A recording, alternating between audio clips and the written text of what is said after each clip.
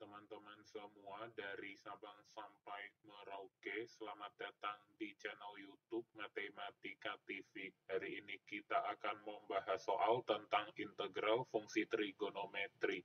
Oke, ini dia soalnya. Tentukan nilai dari integral batas atas 2pi, batas bawah 0, sin x dx. Oke, sifat integral tentu fungsi aljabar yang digunakan dalam menyelesaikan soal ini adalah integral batas atas A, batas bawah B, F, aksen X, dx, di mana f aksen X merupakan turunan pertama fungsi fx. Maka hasil integralnya adalah FA min FB.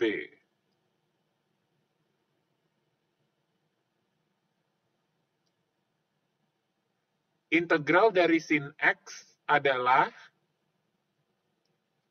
min cos X. Maka bentuk integral fungsi trigonometri dari soal di atas ditulis menjadi min cos X, batas atas 2pi, batas bawah 0. Sama dengan min cos 2pi min cos 0. Sama dengan min 1, min 1 sama dengan min 2. Ini dia jawabannya. Oke, sekian pembahasan soal tentang integral fungsi trigonometri untuk hari ini.